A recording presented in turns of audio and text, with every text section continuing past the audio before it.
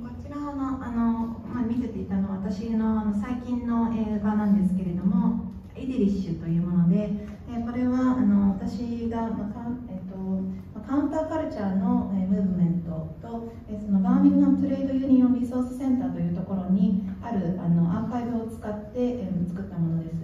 でこの映像の中ではそういったあの VHS のアーカイブですとか写真そういったあのカウンターカルチャーの運動に使われたキャンペーンに使われた素材というのをあの全て、えーいろいろな手法で組み合わせまして